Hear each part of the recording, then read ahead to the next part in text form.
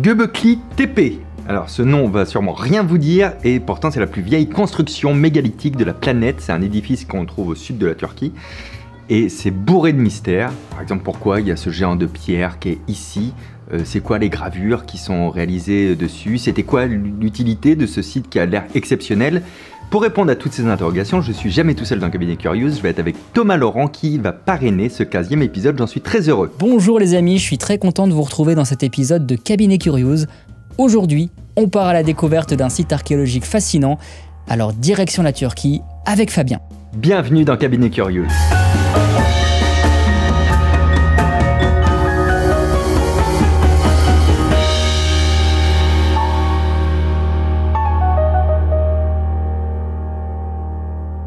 Il est perché, et pas Thomas Laurent, mais bien mon mégalithe à 750 mètres d'altitude, il s'étend sur 300 mètres de diamètre et surtout, il fait l'objet de, beaucoup de mystères.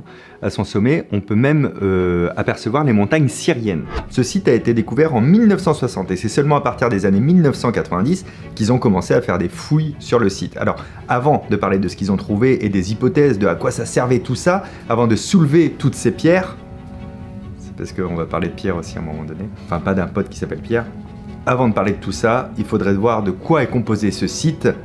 Thomas, est-ce que tu peux nous renseigner là-dessus? Ce qui va nous intéresser, c'est la couche la plus profonde et la plus ancienne, que les archéologues ont baptisée couche numéro 3. Dans cette couche, on a retrouvé des sortes d'enceintes circulaires parsemées de monolithes. Les monolithes les plus impressionnants sont situés au centre des enceintes, ils sont toujours par deux et ils mesurent à peu près 5 mètres de haut. Or, élément tout à fait intéressant à propos de ces monolithes, ils reproduisent des silhouettes humaines. Et oui, ça peut sembler bizarre, mais c'est confirmé puisqu'on a effectivement des représentations de bras, de mains et de ceintures sur ces piliers. Ces piliers qui reproduisent des silhouettes humaines sont d'ailleurs pratiquement les seules représentations humaines de l'ensemble du site. Alors oui, il y a effectivement un personnage sans tête ou encore d'étranges oiseaux avec des jambes humaines, mais globalement les représentations sont surtout des animaux sauvages, des vautours, des sangliers, des gazelles etc. Alors on verra tout à l'heure ce que ça peut signifier, mais d'abord, première grande question, de quand ça date? Eh bien, tout ça a été construit il y a 11 000 ans. 11 000 ans, ça veut dire plus de 6 000 ans avant Stonehenge, ou encore avant la pyramide de Khéops. Avec Göbekli Tepe, on est vraiment à la préhistoire. À la préhistoire effectivement, mais dans un contexte un peu particulier puisqu'on est dans le croissant fertile, au moment où apparaît l'agriculture. Et ça, c'est important d'en parler deux minutes. Contrairement à ce qu'on peut imaginer, l'apparition de l'agriculture est un phénomène extrêmement long. Ça prend vraiment des siècles. Et à Göbekli Tepe, on est à une étape de ce processus, une étape très intéressante. Imaginez bien. Les gens qui ont construit Göbekli Tepe sont des chasseurs-cueilleurs, comme leurs lointains ancêtres, mais par contre, ça fait déjà des générations qu'ils ne sont plus nomades. Ce sont des gens qui habitent dans des villages, dans des maisons. Ajoutez à ça que ces gens ont probablement commencé déjà à semer et récolter des céréales sauvages, puisqu'on est à l'époque où apparaît l'agriculture prédomestique, et ce, mille ans avant que les gens deviennent de véritables agriculteurs.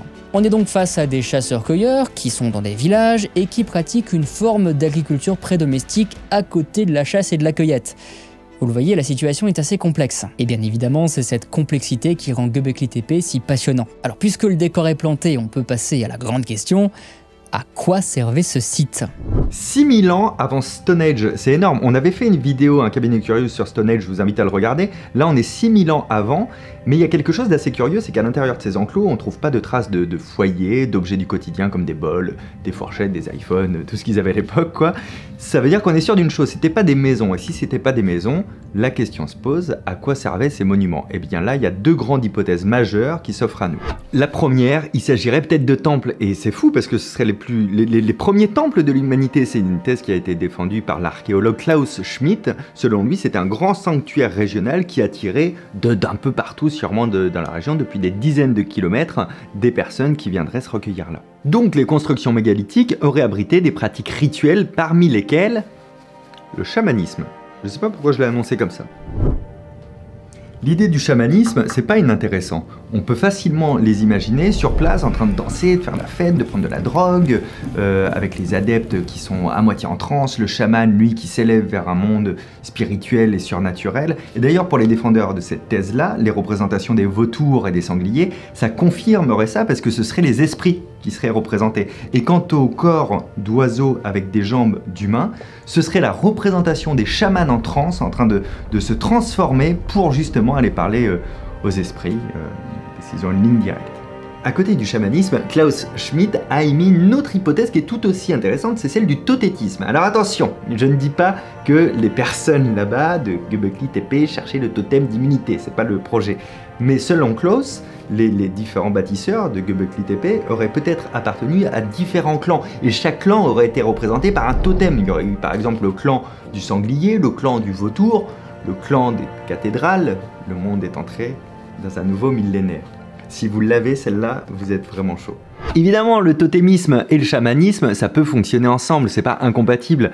Alors peut-être que les deux pistes au final, elles sont vraies pour euh, Göbekli. Par contre, aujourd'hui, on écarte complètement la piste des temples c'est pas possible. Concrètement, un temple, évidemment, ça doit être consacré à des dieux. Et là-bas, il n'y a rien qui indique qu'il y avait des dieux qui étaient vénérés. Alors peut-être que les grands piliers avec les bras sur les côtés sont des ancêtres, mais attention, ni la présence du surnaturel, ni les rituels n'en font des temples. Vous commencez à le sentir, Göbekli Tepe, c'est pas un site très évident.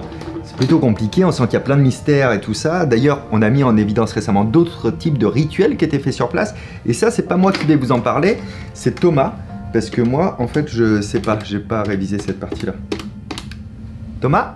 Ce qu'on ne vous a pas encore dit, c'est que les différents enclos ont été artificiellement enterrés. Autrement dit, les chasseurs-cueilleurs ont préféré les reboucher avec des tonnes de terre, ce qui a demandé des efforts colossaux, plutôt que de les détruire ce qui nous montre que même l'abandon de ces bâtiments était très ritualisé. Maintenant, ce qui va nous intéresser, c'est ce qu'il y avait à l'intérieur de ces rebouchages, puisqu'en fouillant la terre, en dégageant ces enclos, les archéologues ont retrouvé deux types de mobilier archéologique très intéressants. Déjà, on a retrouvé beaucoup d'ossements animaux, ce qui montre que de grands festins étaient organisés autour des monuments. Alors on peut imaginer des chasses collectives, pourquoi pas, mais on peut aussi imaginer des grands festins qui étaient donnés lors des campagnes de construction justement pour mobiliser les dizaines de bâtisseurs. C'est tout à fait possible. Bon, en tout cas, retenez qu'il y avait de grands festins. Et à côté de ces os animaux, on a aussi retrouvé des os humains. Alors, attention, pas de cannibalisme à l'horizon. Sachez que les os humains étaient très rares et qu'il s'agissait surtout de morceaux de crâne. Plus précisément des crânes décorés et suspendus. des crânes décorés et suspendus, ça peut paraître un peu étrange, mais ça laisse la porte ouverte à deux hypothèses. La première piste, qui est soutenue par la majorité des archéologues, c'est celle d'un culte des ancêtres. Donc très concrètement, les crânes auraient appartenu à des ancêtres élevés au rang d'esprit et auxquels on pouvait s'adresser. La seconde piste par contre, à laquelle je me rattache personnellement, a été développée par l'anthropologue Alain Tessard.